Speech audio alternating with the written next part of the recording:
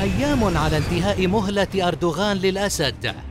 إما الانسحاب إلى خلف النقاط التركية بإدلب أو الحرب بين الجميع ومع الجميع. مع تصاعد مخاطر المواجهة المباشرة يبدو أن الأسد ليس معنيا باتخاذ قرار بأي حرب أو نزاع. في وقت بات لإيران فم يأكل دون أن يتحدث بينما تحدد روسيا ماذا سيحدث ومتى وكيف. بعد سقوط عشرات المدن والقرى والبلدات بيد الأسد ووصول قوات النظام السوري للطريق السريع الأساسي بين دمشق وحلب وانهزام الفصائل المدعومة تركيا من مناطق سيطرتها مع مقتل نحو 16 عسكريا تركيا بقصف قوات الأسد. أردوغان يبحث عن طريق للخروج من عنق الزجاجة. بلقاء رباعي ربما لتطيب الخواطر مع بوتين روسيا وميركل ألمانيا وماكرون فرنسا وبخارطة طريق تحكي كل ما يريده وسيفعله أردوغان بإدلب. لكن أحدا لا يعرف ما بالخارطة إلا أردوغان وربما بوتين الذي عليه أن يعطي الموافقة أو الرفض لنقاط الخطة. الموت يلاحق الأتراك. مقتل جندي تركي بهجوم بقنبلة نفذته قوات الأسد بإدلب.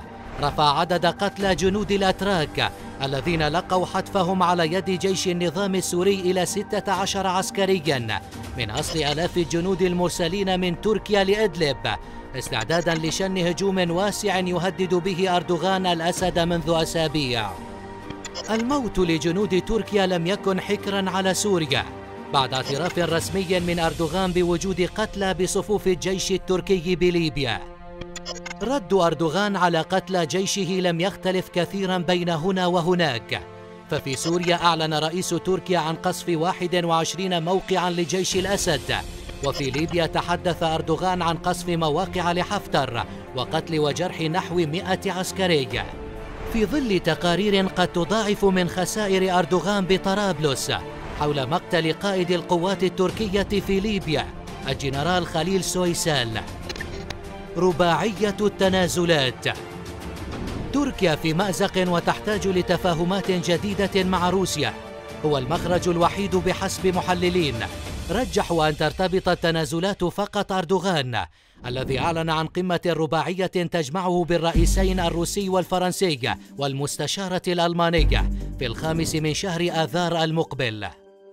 وهو موعد يتجاوز موعد مهلة أردوغان للأسد مع نهاية شباط ما يعني تمديد أردوغان مهلته أوتوماتيكيا لحين عرض خارطة طريق تفتق عنها ذهنه بعد اتصالات مع بوتين تمهيدا لتفاهمات وتسويات وتنازلات.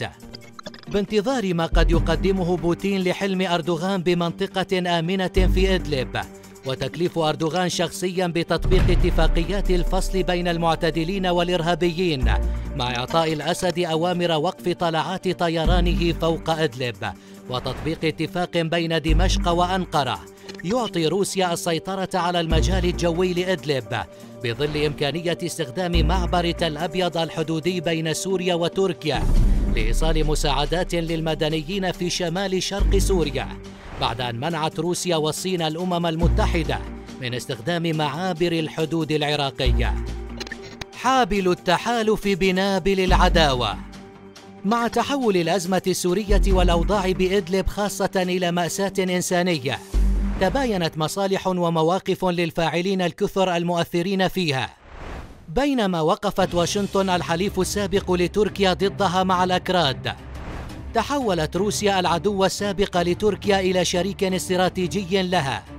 قبل أن يعود الخلاف التركي الروسي للسطح حول إدلب ومنبج وشرق الفرات فأردوغان يريد السيطرة على المدينتين عبر وكلائه بسوريا. أما بوتين يرى أن كل سوريا يجب أن تكون تحت حماه. ماراثون من المفاوضات واللقاءات بين مندوبي البلدين لم ينتهي لكن فرص التفاهم ما زالت تبدو ضعيفة. لترجح المعطيات انتظار تركيا إلى ما بعد مهلة أردوغان مع مواصلة إرسال التعزيزات العسكرية إلى إدلب ومناطق الحدود مع حمل أردوغان تنازلاته وخارطة طريقه للقمة الرباعية في الخامس من آذار. وبعدها اما اتفاق ينقذ ماء وجه أردوغان أو قد تجد تركيا نفسها بحرب ضد الأسد وروسيا دون أن يغيب عن الأذهان دور إيران الصامتة. التي تبدو سعيدة بالتوتر بين أنقرة وموسكو. الأسد آخر من يعلم. تبقى بين أحد أهم حقائق حرب إدلب.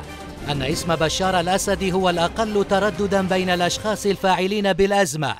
فلا اسم أو وجود لرأس النظام بأي حديث عن اتفاقات أو حروب. لتبقى خطابات تركيا وأوروبا وأمريكا موجهة باتجاه روسيا. بأي من عمليات التفاوض أو الرد أو في طرح أي عملية سياسية.